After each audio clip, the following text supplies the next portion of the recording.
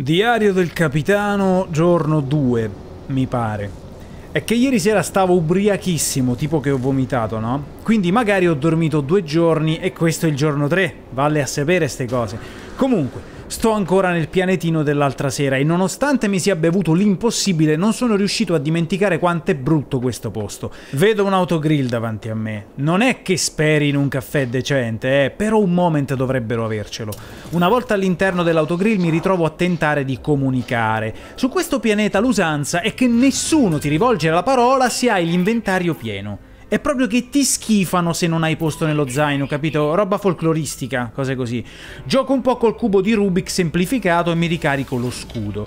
Il tizio non è l'unico nella stazione, ma il suo collega è messo male. Sta per crepare e mi chiede aiuto. Io però guido le navicelle, non sono di medici senza frontiere, quindi lo guardo agonizzare ancora un po' e poi me ne vado.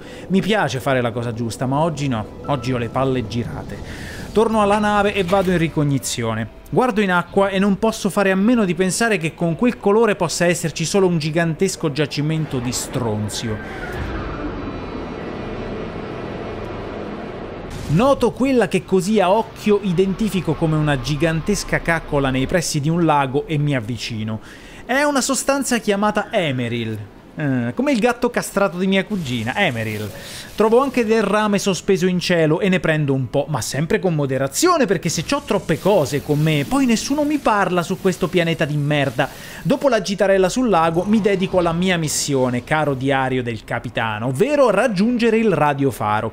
Imposto la rotta con una certa approssimazione e spingo i propulsori verso la mia meta. Mentre punto verso il pianeta Soleg Rick Rosa, non posso fare a meno di pensare a quanto sia gay questo nome. Non ho nulla contro i gay, per carità, ho pure un cugino gay.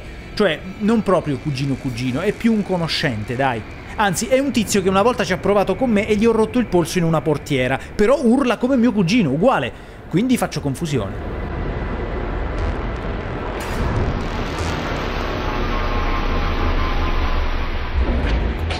Scendo sul pianeta, che guarda caso è parecchio frufru, e accendo il radiofaro. E caro diario, sapessi che delusione quando scopro che prende solo Media Shopping e Radio Maria.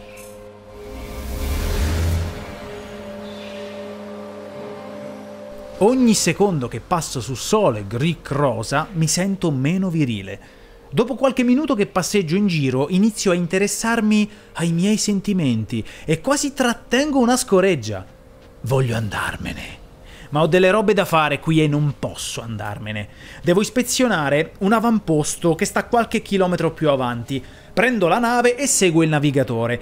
Schiaccio a tavoletta e arrivo a tempo di record, solo che se mentre volo sono un professionista, quando si tratta di parcheggiare calcolo le distanze male male male. Fermo la nave a tre giorni di cammino dall'avamposto e bestemmiando gli dei mi incammino. Entriamo nel modulo principale e un tizio dall'aria ambigua mi offre il progetto per l'iperguida. Cosa molto apprezzabile, visto che è tecnologia che permette di muoversi tra i sistemi a velocità bella allegra. Il punto è che il tizio non mi chiede soldi. Lo sento farfugliare qualcosa nella sua lingua e a un certo punto mi pare di riconoscere la parola pompino. Non è la sola cosa che mi inquieta. Leggendo il progetto vedo che mi serve un risonatore dinamico, Ora, io la scuola per piloti l'ho fatta, ma di sta roba dinamica non ho mai sentito parlare. Forse è una cosa nuova che non stava ancora nei quiz della patente all'epoca. Che poi lo so che se c'è la parola dinamico, la risposta è sempre sì. Funziona così, eh, eh, domande tra bocchetto. Scappo con una scusa e appena fuori dalla stazione trovo un Orissai Perust che nella lingua del posto significa anguilla che sembra un cavallo. Gli do da mangiare e saltella via, maschio come le ovaie proprio. Ho capito l'andazzo del pianeta. Ore 17 e 45, mi sono rotto il cazzo di stare qui e voglio andarmene, ma da lontano vedo del fumo. So che sono su un altro pianeta. So che qui non c'è l'agnello. So che forse sono pazzo, ma non posso fare a meno di pensare che qualcuno stia cucinando degli arrosticini. Allora mi avvicino e trovo un macchinario tutto sfondato. E che ci trovo dentro? Gli arrosticini? Nah. Ci trovo una nuova tecnologia. Mai una gioia, diario, mai una gioia. C'è l'eridio però, che scientificamente è l'elemento più distante in assoluto dalla carne di castrato, ma già che ci sono lo prendo.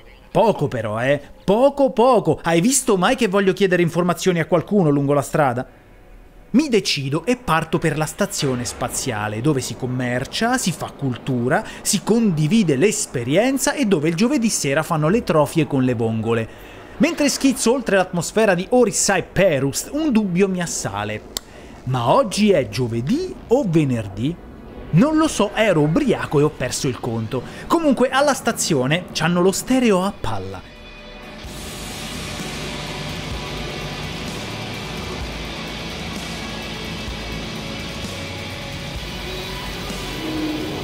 Sento che hanno messo su una raccolta di classici anni 80 e mi fa salire la nostalgia così forte che la mia tirchieria subisce una leggera flessione e mi faccio rapinare un fracco di unità per quel minchia di risonatore dinamico. Adesso però chiudo diario del capitano. Chiudo perché devo passare alla mensa e se non c'hanno le trofie alle vongole è la volta buona che mi incazzo.